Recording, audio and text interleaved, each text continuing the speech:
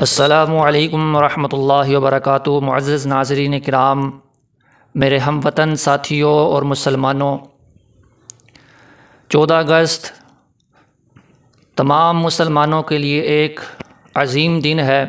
ये वो दिन है कि जिस दिन अल्लाह तबारक व ताली ने मुसलमानों को अपनी इबादत के लिए एक अलग मुल्क अता फ़रमाया था। मुसलमानों को अल्लाह तबारक व ताली ने अंग्रेज़ की ग़ुलामी से निजात अता फ़रमाई थी। ये आज़ादी कितनी बड़ी नेमत है, आप इसका अंदाज़ा इस बात से लगा सकते हैं कि अल्लाह अहकमुल हाकिमीन ने बनी इसराइल को फ़िरौन से निजात के लिए अपने नबी हज़रत मूसा सलाम को मबूस फरमाया था, जिससे हम बाखूबी अंदाज़ा लगा सकते हैं कि आज़ादी कितनी बड़ी नेमत है। अगर आपको आज़ादी की नेमत का अभी सही मानों में एहसास नहीं तो आज भी अगर आपके पास, आपके ख़ानदान में कोई पचहत्तर, अस्सी साल का बुज़ुर्ग है तो उससे पूछिए कि हमें ये मुल्क किन कुर्बानियों के बाद मिला था और इसकी क्या कदर है। लेकिन अफसोस कि आज हम आज़ाद मुल्क में रहते हुए भी ग़ुलामी का शिकार हैं। हमारी सकाफ़त व तहज़ीब, आइन कानून सब अंग्रेज़ की ग़ुलामी से आज़ादी के बाद भी अंग्रेज़ के ग़ुलाम हैं। हमारा दहनाबाज व मशरक़ी पाकिस्तान काट दिया गया। क्या ये आज़ादी है? और ये जश्न, ये किस चीज़ का जश्न है?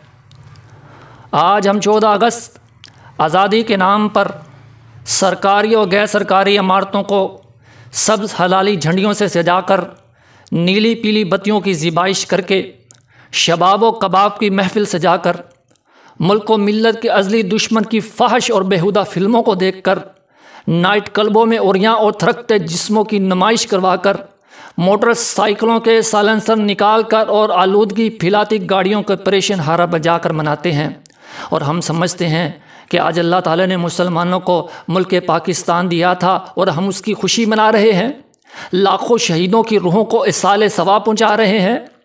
इस्लाम के नाम पर हासिल करने वाले मुल्क के पाकिस्तान में रहने वाले मुसलमानों, मेरे पाकिस्तानी भाई ज़रा सुनिए जिस अंदाज में आज आप मुल्क पाकिस्तान की बेहरमती कर रहे हैं, कल अल्लाह तबारक ताली को क्या जवाब दोगे? क्या अपने असलाफ की कुर्बानियों को भूल गए हो? क्या अपने बुज़ुर्गों की कुर्बानियों को भूल गए हो कि किस तरह से उन्होंने अपने लगते जिगरों को कुर्बान करवा के इस पाकिस्तान को हासिल किया था? क्या पाकिस्तान का मतलब क्या ला इला ये नारा भूल गए हो? ज़रा सुनिए कि मोहम्मद अकरम सल्लल्लाहु अलैहि वसल्लम को जब अल्लाह ताला खुशी देते थे तो आप सल्लल्लाहु अलैहि वसल्लम की क्या हालत होती थी? सुने नबी दाऊद की हदीस में आता है कि जब रसूलुल्लाह सल्लल्लाहु अलैहि वसल्लम को कोई खुशी वाला मामला या कोई खुशखबरी मिलती तो अल्लाह के सामने सजदे में गिर पड़ते थे और अल्लाह का शुक्र अदा किया करते थे। अगर आज तुम आज़ादी मनाना चाहते हो अगर आज चौदह अगस्त मनाना चाहते हो तो अल्लाह का शुक्र करो, नमाज़ पंजगाना की हिफाजत करो, अल्लाह के सामने सजदे में गिर जाओ। आज के दिन अपने रब को पहले से ज़्यादा राज़ी करने की कोशिश करो कि अल्लाह तेरा शुक्र है कि तूने हमें अंग्रेज़ की ग़ुलामी से आज़ाद किया। हमें मुल्क पाकिस्तान अल्लाह इसलिए हासिल किया था कि इसमें हम तेरी इबादत क्या करेंगे। लेकिन अल्लाह हम इस वादे को भूल गए। हमें अपने इस वादे की वफा करने की तोफ़ी नसीब फरमा। अल्लाह, हमें मुल्क पाकिस्तान के साथ मुखलिस होकर चलने की तोफ़ी नसीब फरमा। आमीन सुमा आमीन। तो एक बार फिर इस नारे को याद कीजिए और इसको ज़िंदा कीजिए कि पाकिस्तान का मतलब क्या? ला इल्लल्लाह। पाकिस्तान से मोहब्बत करने वाले, इस नारे को याद रखने वाले कमेंट्स के अंदर, पाकिस्तान का मतलब क्या? इस नारे का जवाब ज़रूर दें। ताकि ये नारा ज़्यादा से ज़्यादा लोगों तक पहुँच सके और एक दफ़ा फिर इस नारे की गूंज पैदा हो जाए और भूले हुए मुसलमानों को उसकी याद दहानी हो जाए। तो पाकिस्तान का मतलब क्या?